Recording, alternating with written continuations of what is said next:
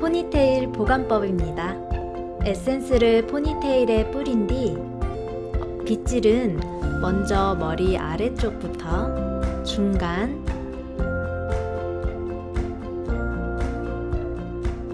머리 위 순서로 빗어줍니다.